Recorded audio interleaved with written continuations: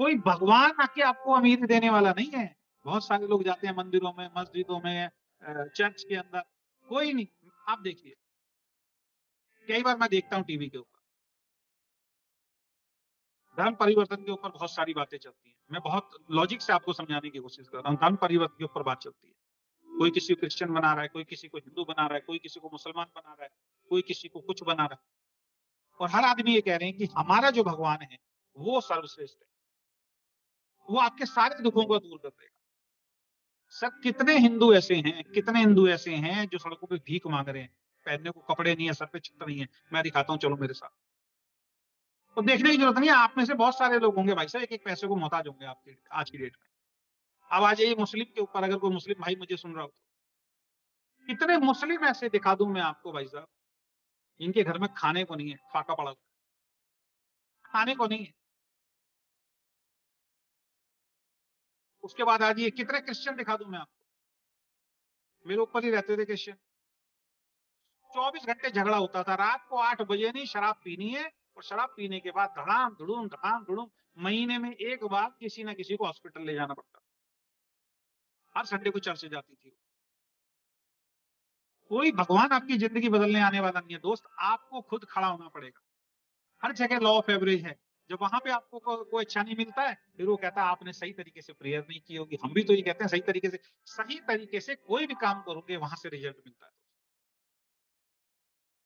कर्म से बड़ी कोई पूजा नहीं है। अगर आप काम ही नहीं करोगे कोई चमत्कार जीवन में होने वाला नहीं है सब दुकानें चल रही है मैं बता ईश्वर ने भगवान ने अगर अंतर पैदा करके भेजा होता ईश्वर ने भगवान ने अगर अंतर पैदा करके भेजा होता ना दोस्त तो यहाँ ठप्पे कहीं ना कहीं लगा के भेजा होता। आप इस कुदरत की साइंस को आज तक समझ ही नहीं पाए ये जाति, ये धर्म, ये ऊंच, ये नीच, ये आप और हम लोगों ने बनाया है, दोस्त, ये भगवान ने बना के नहीं भेजा ऊपर से परमेश्वर ने बनवा के नहीं भेजा हुआ है, आपने और हमने बनाया हुआ है, ये सब कुछ हमने यहाँ पे क्रिएट किया ये लड़ाई, झगड़े, ऊंच, नीच, जात, पात, धर्म, ये सब कुछ आपने, हमने बना के भेजा हुआ भगवान ने तो सबको एक जैसा बनाया ब्लड भी एक जैसा है, हाथ भी ऐसे शरीर भी एक जैसा है, ऐसा नहीं कुछ अलग बनाया हिंदू में पैदा करना होता तो भाई अलग से चप्पा लगा देते, मुसलमान में पैदा करना होता, अलग से टप्पा लगा के भेज सकता था, क्या वो क्रिएटर इतना वो है कि वो ये नहीं कर सकता? कि हिंदू में लाल खून और मुस्लिम में हरा खून करके भेज देता टेंशन ही थी, बात ही खत्म हो गई थी। इन चीज़ों से बाहर निकलना पड़ेगा आप हम लोगों को। आप और हम इक्कीसवीं सदी में जी रहे हैं दोस्त, और आने वाला समय बहुत तेज़ी से चलने वाला है। इन सब चीज़ों से बाहर आके कर्म करना पड़ेगा, मेहनत करना पड़ेगा, अगर अपने भविष्य को सुरक्षित करना चाहते हो तो। वरना इन्हीं उलझे रहो। मैंने बहुत एस्ट्रोलॉजी को पढ़ा हुआ है, मैंने बहुत मेरे ये सारे हाथों के अंदर अंगूठियाँ ये सब रहा करती थी। नवरत्न का ब्रेसलेट यहाँ एक गले के अंदर ना हाथों में पुरानी मेरी फ़ोटो देखोगे।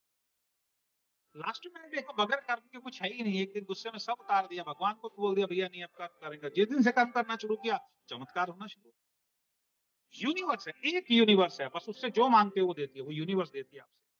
उस यूनिवर्स से मांगो जो मांगो। ऊपर एक शक्ति बैठी है, कोई भी हो सकती है। वो लड़ाई का विषय है या बहस का विषय नहीं बना एक शक्ति है, कुछ भी हो सकती है बस। उसको मान के कर्म करना पड़ेगा तब आप